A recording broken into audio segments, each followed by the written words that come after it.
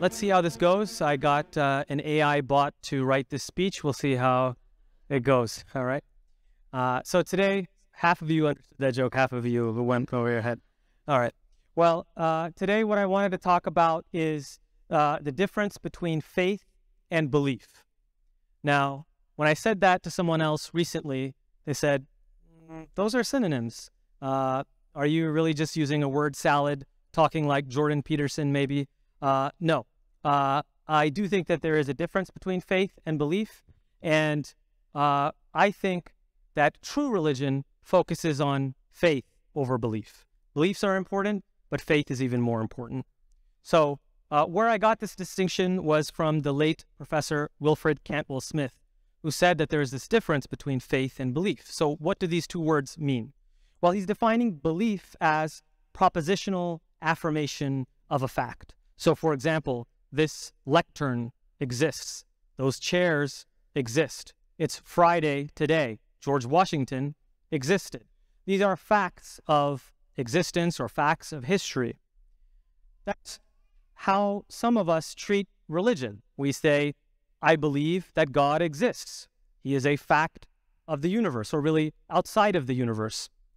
And uh, if you talk to the so called new atheists, they also understand religion in that way, that religion is about, they think faith means just belief, and it's unjustified belief, according to them. It's uh, just our fanciful, mythical understanding. But the reality is, is that uh, even Satan believed in God from a propositional, intellectual sense. So Satan, according to Scripture, was not an atheist, at least not uh, from an intellectual standpoint. So I think that there's something more important than belief, and that is faith. So faith is, whereas belief is something of the mind, of the brain, intellectual, faith is something that comes from the heart. It's a matter of the heart and the soul. So it's more than just one plus one equals two. Instead, faith is about trust and commitment, about reliance and trust. So, for example, I believe that my wife exists. She's a fact of the universe. I know that when I come home, she exists. But that's not what I mean. Uh, that's not what I mean when I say that I have faith in her and she has faith in me. It means something much more than that. It means that I trust her and she trusts me, that I rely on her and she relies on me. When the going gets tough, she's there for me. That's what faith means. And that's what I think matters when it comes to religion. So when, re- when religious people commit their lives to God, what we are doing is we're dedicating our life to something beyond ourselves, to the transcendent, to the divine. And that's something more than just saying, I believe in God. Unfortunately, however, our religious establishment sometimes seems to just focus on belief as opposed to faith. It's really easy to check what a person's beliefs are. You can give them a, a, checklist and say, Do you believe in this, this, this, and this? Okay, you can be part of our church, you can be part of our mosque. In fact, recently I visited Pakistan and I entered into a mosque and there was a sign that was over a doorway, which was a creedal statement meant to say that the people who belong to this mosque, this is what they believe. And anyone who doesn't believe that doesn't belong in this mosque and really doesn't belong in this country. That's kind of the message that was being sent. Well, again, I think that's a little bit of a misguided approach. You know, and, and you can talk about like creedal statements. Do you believe Jesus Christ has two natures, divine and human? Is he both fully God and fully human? Was Jesus one person or two? Do you believe the Quran is created or the uncreated word of God? Where does the Quran in here? Inside of God or in some outside locus? These are beliefs. And these are things that often our religious establishment focuses on, but I don't think it's the real uh, fruit, the the kernel of faith. It's just the husk of faith. Historically, of course, if you had the wrong set of beliefs, you could get in some serious trouble. You could be excommunicated from your church, from your mosque, your life could be in danger, or at least you could face social ostracization. That's a tough word. Well, the Bible and the Quran, I would argue, focus on faith, not just belief. In a beautiful passage in Hebrews 11, we read, quote, now, faith is the assurance of things hoped for, the conviction of things not seen. The passage goes on to speak of the faith in God shared by the prophets, by Noah, uh, Abraham, Isaac, Jacob, Sarah, and Moses. The passage goes on to say, quote, By faith the people crossed the Red Sea as on dry land, but the Egyptians, when they attempted to do the same, were drowned. Clearly, this is not propositional belief that is being talked about, but faith and trust in a higher power. Similarly, we read in Corinthians, 2 Corinthians, we walk by faith.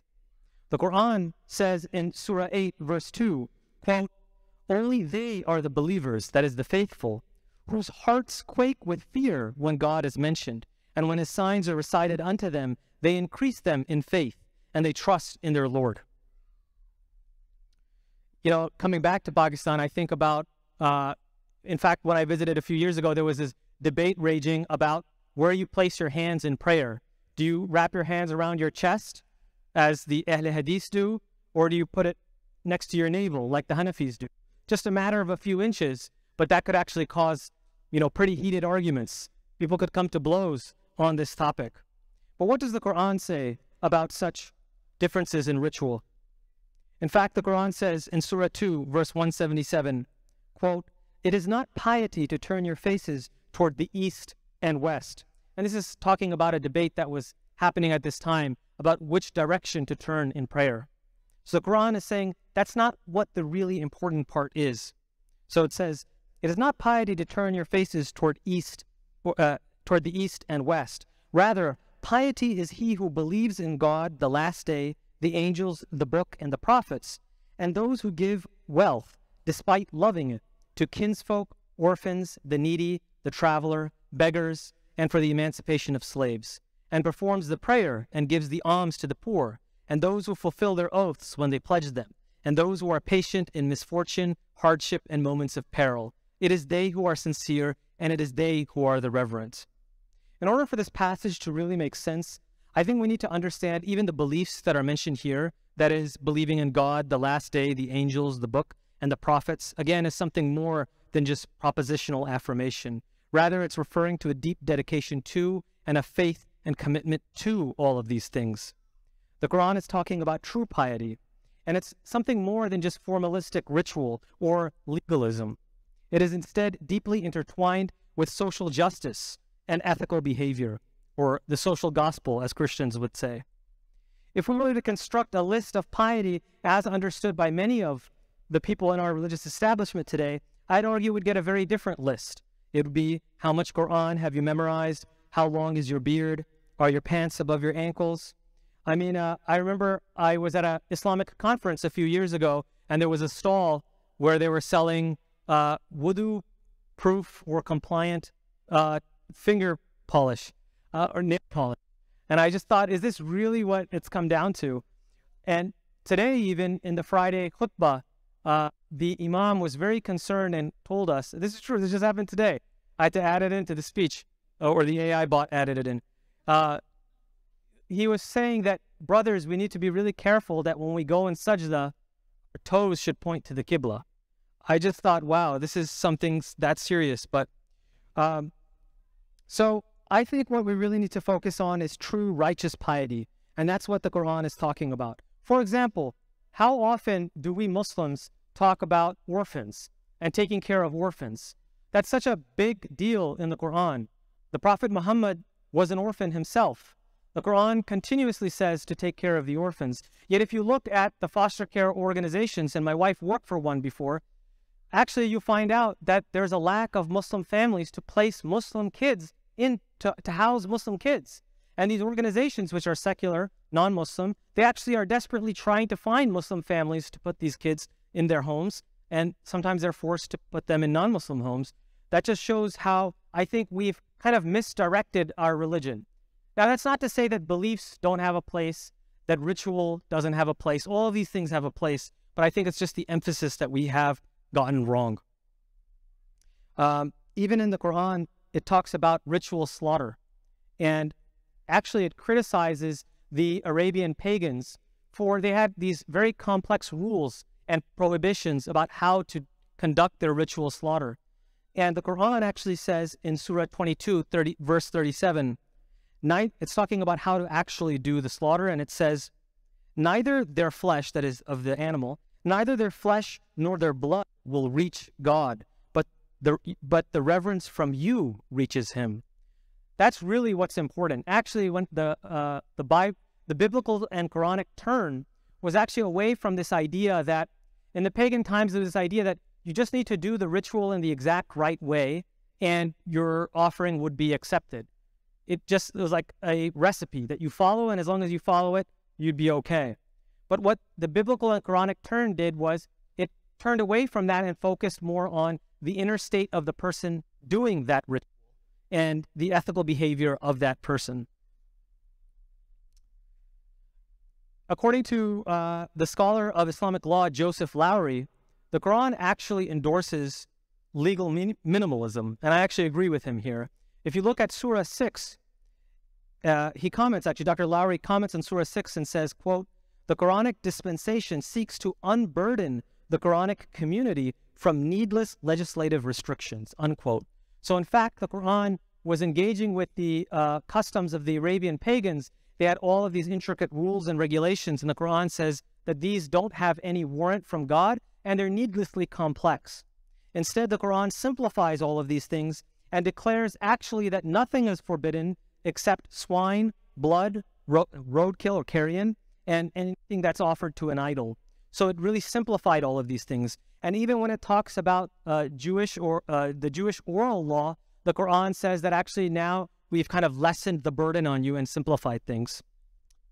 So um, basically, the Quran is minimizing these things and emphasizing ethical behavior.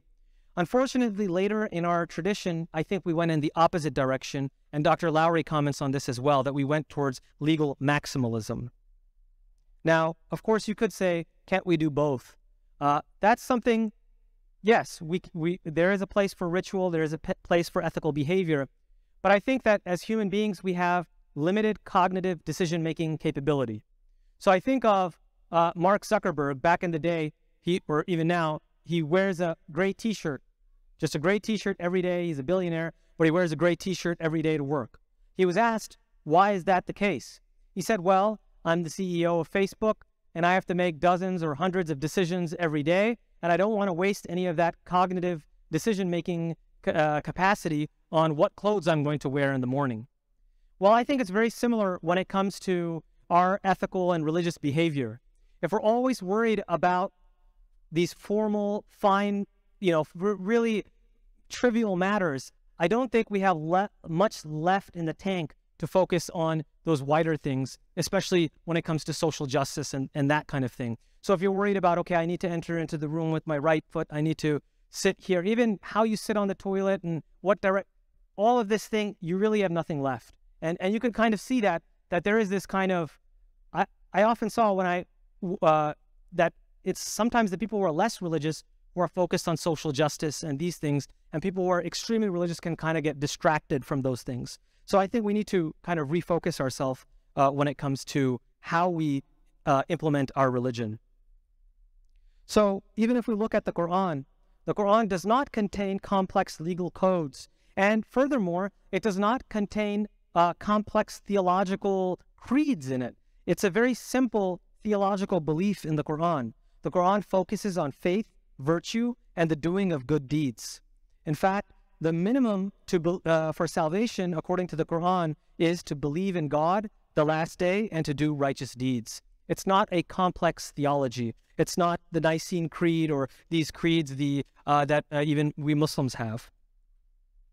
So, uh, neither is it the case that, in the, uh, according to the Quran, that you can just recite such and such thing in such at such and such time and all your sins are going to be forgiven this kind of idea that you just recite the some magical formula or do this magical thing and your sins are forgiven. Instead the focus is on uh, righteous behavior and ethical conduct.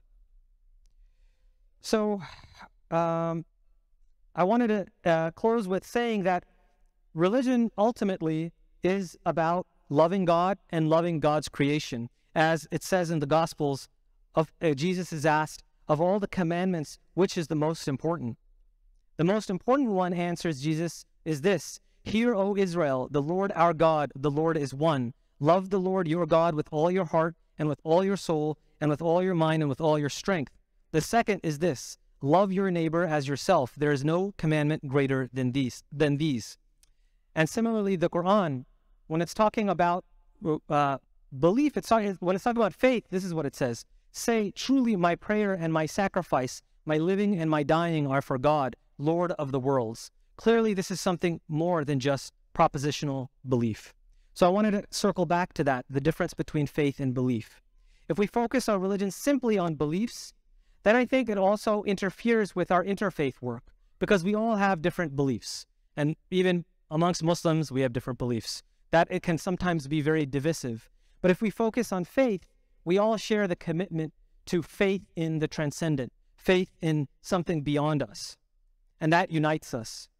The Quran declares in Surah 49, verse 13, O humankind, verily we created you from a male and a female, and we made you peoples and tribes that you may come to know one another. Surely the most noble of you in the sight of God are the most piously righteous of you.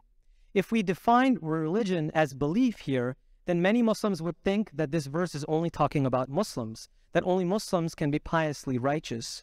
But this characteristic of righteous piety, taqwa, is shared across humankind, which is why the verse is addressed to humankind. It doesn't say, oh, you Muslims, it says, oh, humankind.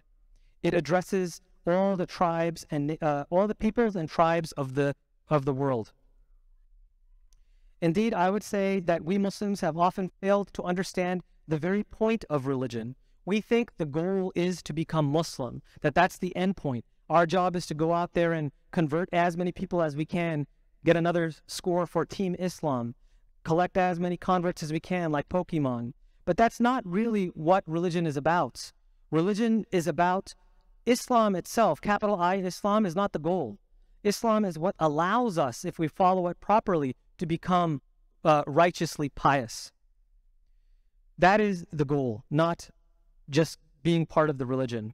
And Islam itself is really about the existential state of al-Islam. Al-Islam translates to submission, submission to the will of God. This is an existential state. It's not just something that comes from the tongue. I'm going to summarize now. I think we've made religion about beliefs when it really is about faith. I think we've made religion about intricate laws and rules when it's really about ethics and virtues.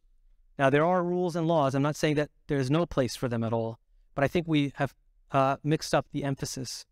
We have made religion into formal and rote observance of ritual when it's really about spiritual transformation and the humbling of the self. That's what prayer is meant to do, to turn you away from the self-centeredness, the ego-centeredness, to the other-centeredness, to the God-centeredness. We've made religion into just saying the right formula at the right time, when it's really about being a good person, of loving God, of loving His creation, and of doing good on this earth. We've made religion into a competition to win converts when it's really about converting our own hearts and striving to engage in a spiritual contest to do good. We have made religion into reading the book with the beautiful voice when it really is about reading the book to understand its beautiful message and to implement it in our lives. We've made it simply about being Muslim when it really is about striving to die in a Muslim state, in a submitting state. The truth is that we've only grasped the husk the empty shell of religion, but we really should be seeking the true kernel of faith. Thank you.